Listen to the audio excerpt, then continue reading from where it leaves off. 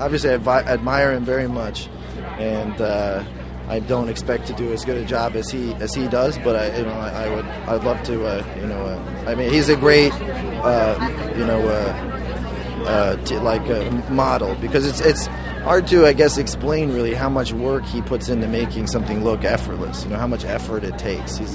His filmmaking is kind of invisible and it's sort of egoless and. Um, you know, I have a lot of uh, admiration for that.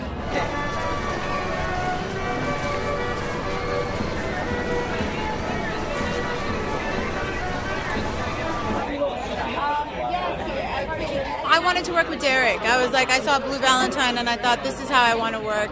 This director's really onto something here, and um, uh, it had a real, um, you know, uh, Nick Cassavetes vibe to it, and I'm a big Nick Cassavetes fan. So I just wanted to do his next picture, and luckily there was a, a role in it that, that I was right for.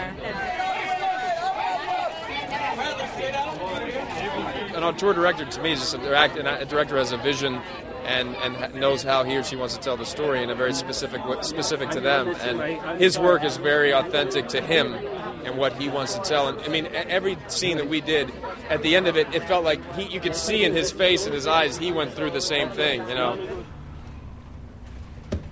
What about my mom? She can come. What about Kofi? He can stay. He can get his own girl and his own kid. That's every man's right.